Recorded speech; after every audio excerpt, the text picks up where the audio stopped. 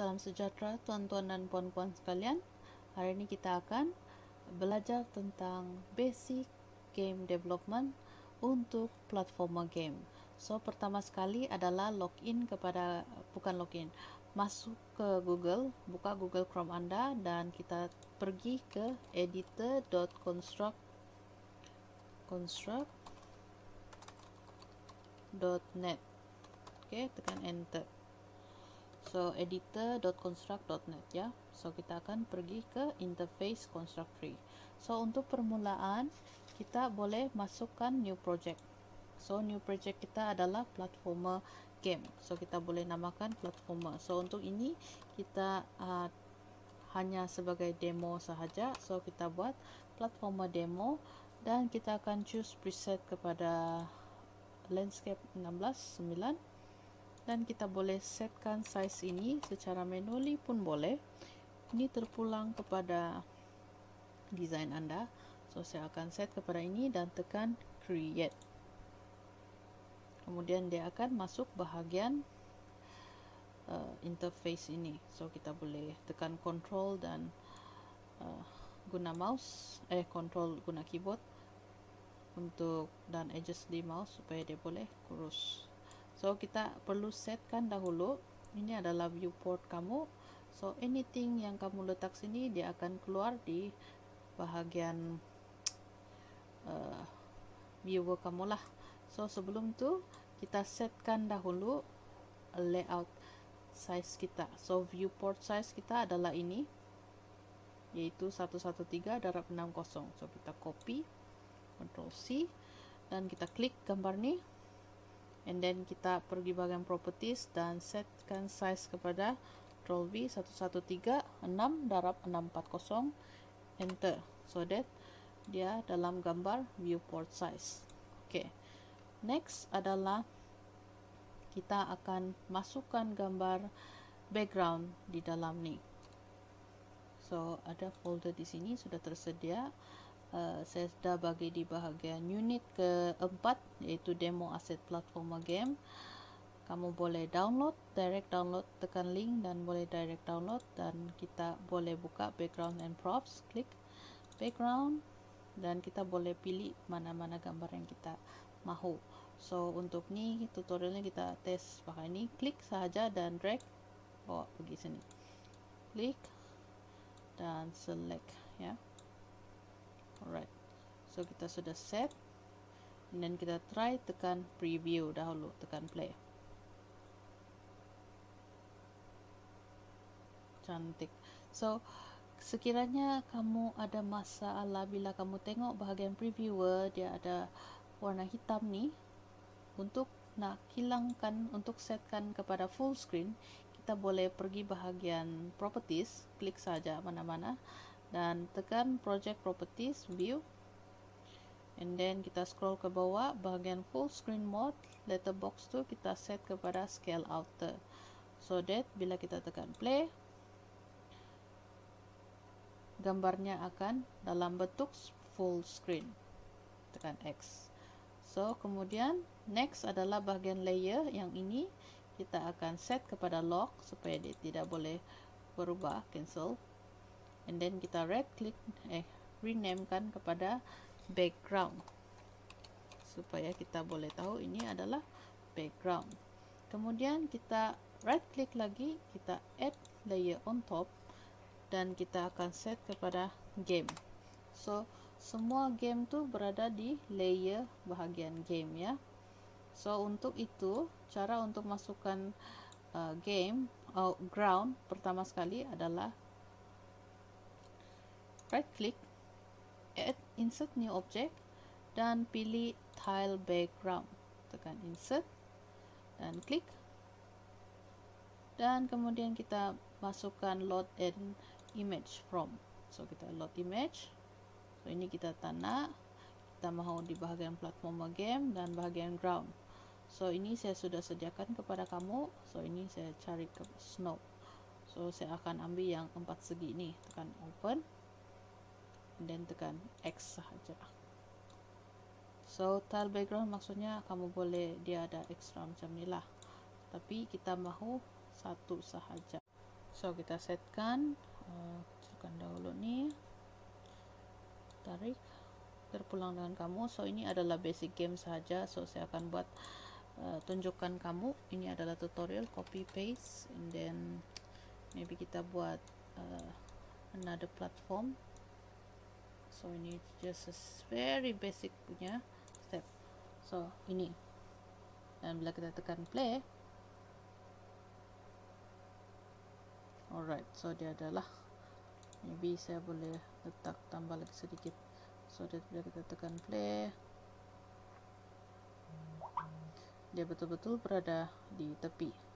Ok next adalah kita masukkan karakter kita which is our player lah so ini kita sebelum tu kita setkan dulu yang ni kita uh, renamekan kepada ground. Dan background ni kita forest kita let background sahaja. Supaya nampak senang okey so bila kita tengok sini baru kita ada dua objek. Sekarang ni kita akan masukkan another objek. Caranya adalah caranya adalah kita right click insert new object dan pilih sprite. Okey insert klik mana-mana then load an image. Sprite adalah kira uh, objek lah objek apa yang kamu nak. So player alien maybe adventurer uh, saya akan pilih ideal yang dia berdiri sedang berdiri which is this one ideal tekan open. Dan ini akan nampak. So kita akan crop dahulu. So that dia betul-betul berada di tepi. Okey so tekan X sahaja. Kita akan masukkan di sini. Right kita tekan play. So tidak ada apa-apa berlaku because kita belum setkan behavior kepada ini uh, player kita. So untuk kita setkan behavior tu supaya dia boleh bergerak adalah kita pergi bahagian klik player tersebut dahulu dan pergi bahagian behavior add behavior tekan add new behavior dan kita setkan movement dia bahagian movement kepada platform. So dia adalah platformer lah player okay? So bila kita tekan play dia jatuh because kita belum set uh, ground kita sebagai tempat untuk dia berdiri. So untuk itu kita klik ground ni. Kita akan setkan behavior. Add new behavior dan tekan solid. Solid meaning to say player tu boleh berdiri di atas ground yang solid. Tekan play. Yes, correct. So masalahnya uh, player kita dia tidak berdiri tempat yang betul. Kan? So bagaimana dia kita boleh berdiri uh, pastikan dia berdiri di atas permukaan ground kita adalah senang saja pertama sekali adalah klik player kamu double klik. Dan pergi bahagian bawah ni iaitu collision polygon. Okey saya besarkan dahulu sedikit ni. Oops so That's why kenapa collision polygon because of kita perlu setkan ini kepada di bahagian tanah lah untuk dia boleh berdiri di ground. Okay, so kita coba lagi tekan play.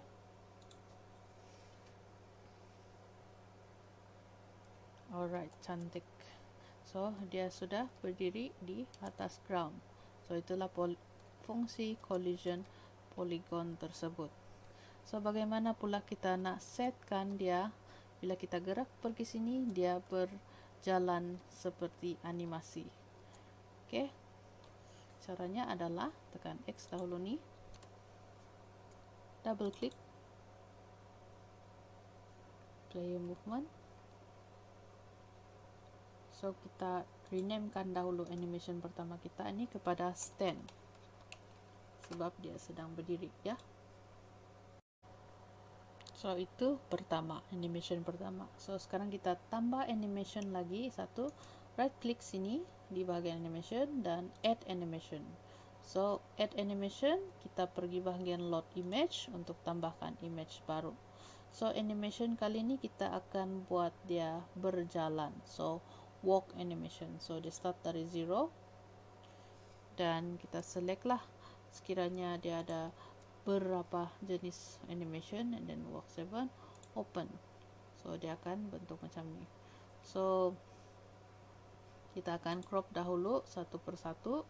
Klik ni uh, pastikan kita renamekan dahulu nama dia adalah walk okay so dia sedang berjalan so sekarang kita perlu saya besarkan supaya kamu nampak okay so kita perlu cropkan dahulu satu satu persatu image ni supaya kamu boleh nampak dengan jelas. Tekan crop supaya dia jenis macam ni okay klik crop. Cropkan semua.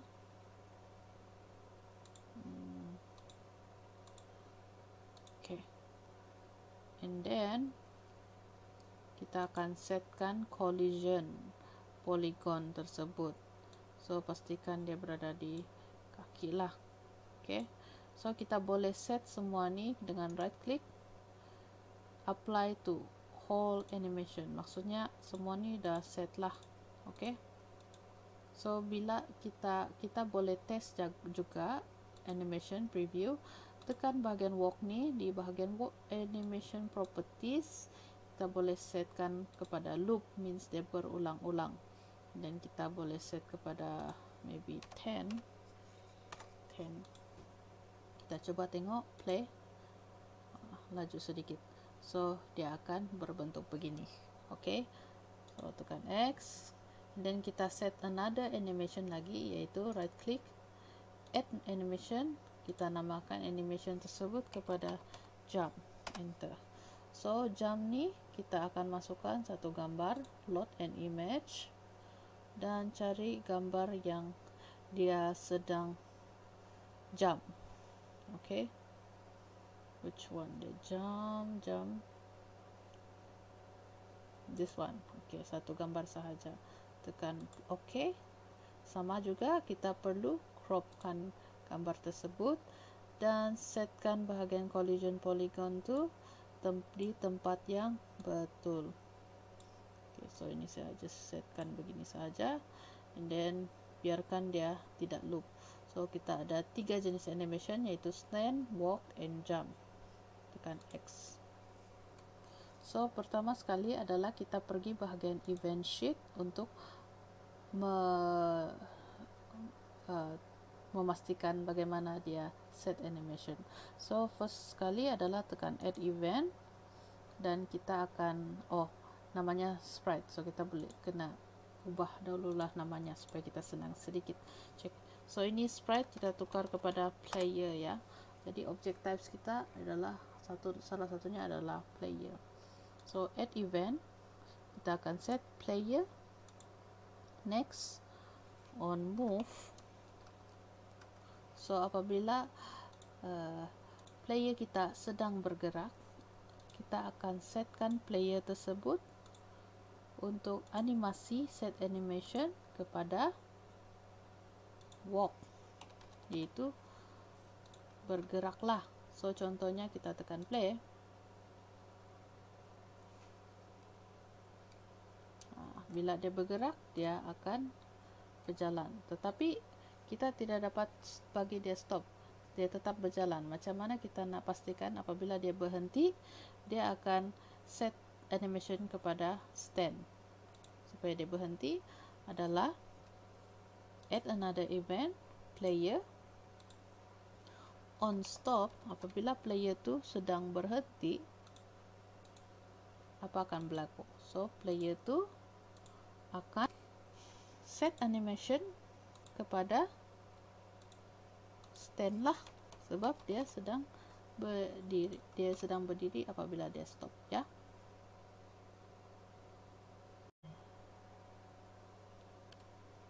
so apabila kita tekan play okey apabila platformer kita player kita bergerak dia akan bergerak dan bila stop dia akan stop lah. Alright. So sekarang ni uh, begitulah. Alright sekarang ni kita akan set animation. Kalau dia lompat dia akan set animation untuk jump. So untuk itu senang saja. Cara yang sama kita add another event apabila player tu is jumping sedang melompat kita akan setkan animation player tersebut. Player set animation kepada jump. Dan so dia akan set animation kepada jump. So bila kita tekan play kita jalan ok dia lompat. So dia akan lompat. Tapi apabila dia lompat bila dia mendarat dia tetap gambar macam tu. So bagaimana kita nak set command bila dia lompat dan dia landing dia akan berdiri kembali. So untuk set itu kita tekan another event at player. So satu player ni then on landed berada on landed kita akan set player tersebut animation kepada stand. Okay. Enter. So kita akan tambah lagi another sub event dia which is kita klik bahagian event 4 ni right click add dan kita add sub event di mana uh, player tu bila dia sedang moving is moving sedang bergerak dia landed tetapi dia sedang bergerak kita akan set player tersebut untuk set animation kepada walk itu bergerak juga ya. And then apabila kita tambah lagi another sub event uh, bahagian 4 add add another sub event di mana player tu kita set kepada moving dulu moving. Next. So untuk set ini is moving. Satu is not moving. Kita invertkan sahaja okay? Add player add action. Tekan player set animation. So kalau dia tidak bergerak apa? Animationnya adalah stand. Dan okay? So bila kita check tekan play jalan lompat dia berdiri kan lompat jalan okay so on landed dia akan terus berdiri on landed dia akan uh, kekal dengan position tersebut. Alright. So sekarang ni bagaimana pula nak setkan animation kita player apabila dia pergi ke kiri dia akan jalan ke kiri tetapi ke kanan dia sepatutnya pergi tengok sebelah kanan. So untuk setkan itu kita perlu pergi layout pertama dahulu dan kita klik mana-mana uh, di bahagian layout insert new object dan pilih input kepada keyboard sebab kita akan guna keyboard untuk gameplay. Ok so ini adalah kita ada tambah another uh, object lah which is keyboard. So kita pergi bahagian event sheet so kita akan tambah event baru. Klik add event. Dan kali ini kita pilih keyboard. So keyboard on key press. Kepada click to choose arrow left arrow. Tekan ok. Done. So apabila keyboard itu kita press kepada kiri arrow kiri player tu kita akan simulate control kepada left lah so dia akan pergi ke left. Dan kita akan set an add player set mirror. So sorry mirror. So dia akan mirror set mirror lah. So dia akan reflectkan kepada ke kiri okay? So sebelum kita uh, tekan play kita test kita add lagi another event keyboard dan on key press apabila keyboard kita kita tekan arrow right arrow kanan tekan done player tu kita akan set add action kepada simulate control. Dia kita akan simulate control kepada right lah. Sebab dia pergi right so kita akan set arrow kepada right. Dan player ni kita akan setkan set mirror. Set mirror. This one. Tetapi not mirror because ini adalah asal gambarnya okay and then satu lagi kita tambah add another event keyboard. On key press. Dan kita klik to choose arrow up arrow. Kita klik bagian keyboard bagian arrow up.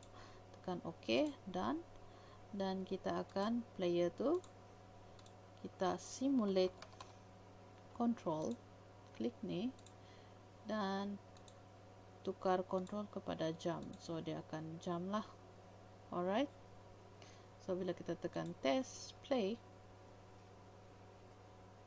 bila kita tekan arrow kanan dia akan pergi ke kanan dan jam tapi bila kita ke kiri dia akan uh, set arrow ke kiri so ini adalah contoh contohnya. Alright.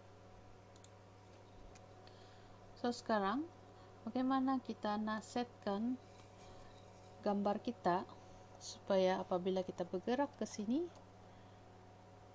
kamera tu terus ikut gambar kita ok so caranya adalah kita tekan layout 1